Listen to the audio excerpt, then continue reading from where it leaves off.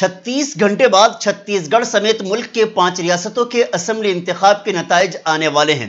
मगर उससे कबल आज छत्तीसगढ़ के वज़ीर आला रमन सिंह ने कहा है कि उन्हें पूरा भरोसा है कि इस दफ़ा भी बीजेपी अपनी अक्सरियत साबित करते हुए और बगैर किसी हिमायत के चौथी दफ़ा बीजेपी अपनी सरकार बनाएगी। उन्होंने कहा कि कांग्रेस को चाहिए कि वो इलेक्शन कमीशन पर और रियासत के अवाम पर भरोसा करें। कोई हंगमंग की स्थिति नहीं आएगी। साफ़ साफ़ clear cut Bharatiya Janata party की सरकार बन रही है। पूर्ण बहुमत के साथ बन रही है और 11 तारीख ज़्यादा दिन बाकी नहीं है, सिर्फ़ 24 48 घंटे बाकी हैं। इसका नतीजा देश के सामने आ जाएगा। मैं 100 परसेंट पूरे विश्वास से कह रहा हूँ कि भारतीय जनता पार्टी की चौथी बार छत्तीसगढ़ में सरकार बनने जा रही है। इसमें कहीं किसी का सहयोग, समर्थन लेने की ज़रूरत नहीं। हमारे विधायक चट्टान की तरह मज़बूत हैं, यही रहेंगे, सबके सामने रहेंगे, मैदान में रहेंगे।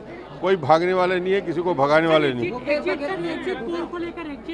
शंका करने वाले दूसरे लोग हैं। हम अपने ऊपर विश्वास है अपने विधायकों के ऊपर विश्वास है और अपने सरकार बनने पर विश्वास है। कहीं छत्तीसगढ़ के बाहर भेजने का कोई विषय न था न है न रहेगा।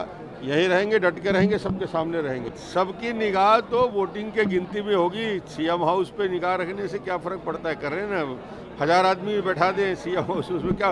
ये तो अजीब छोटी मानसिकता है। ये छोटे लोगों का मन कभी बड़ा नहीं हो सकता छोटी सोच जो रखता है, बड़ा काम वो जीवन में कभी कर नहीं सकता। इसलिए मन को बड़ा रखो भाई, दिल को बड़ा रखो। ये चुनाव आयोग पे भरोसा रखो, चुनाव आयोग की प्रक्रिया पे भरोसा रखो। हम तो पंद्रह साल से और बीस, पच्चीस साल से।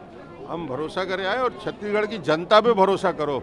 उस पर यदि भरोसा नहीं है तो क्या कर लोगे तुम?